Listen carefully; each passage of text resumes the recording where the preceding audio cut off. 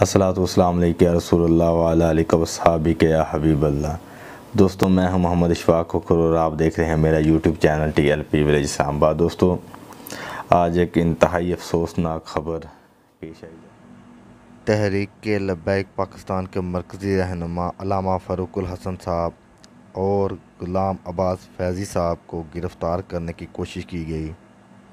مسجد رحمت للعالمین میں علامہ فاروق الحسن صاحب اور غلام عباس فیضی صاحب کے بارے میں معلومات لیتے رہے۔ جیسا کہ آپ صاحب دوست جانتے ہیں کہ حافظ علامہ سعد حسین رضوی صاحب کے بعد علامہ فاروق الحسن صاحب اور غلام عباس فیضی صاحب ایک مرکزی رہنما ہیں۔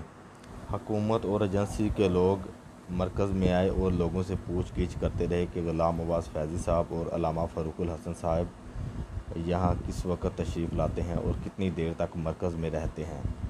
تو جس سے صاف ظاہر ہوتا ہے کہ حکومت علامہ فاروق الحسن صاحب اور غلام عباس فیضی صاحب کے متعلق ایک نئی سازش تیار کر رہی ہے۔ یہ تھی آج تک کی تازہ خبر۔ امید کرتا ہوں آپ کو ویڈیو اچھی لگے گی۔ ویڈیو اچھی لگے، لائک، کمنٹ اور شیئر کرنا مت بھولیے گا اگر آپ چینل پر نئے ہیں تو چینل کو سبسکرائب کیے بنا مت جائیے گا۔ شکریہ۔ اللہ حافظ۔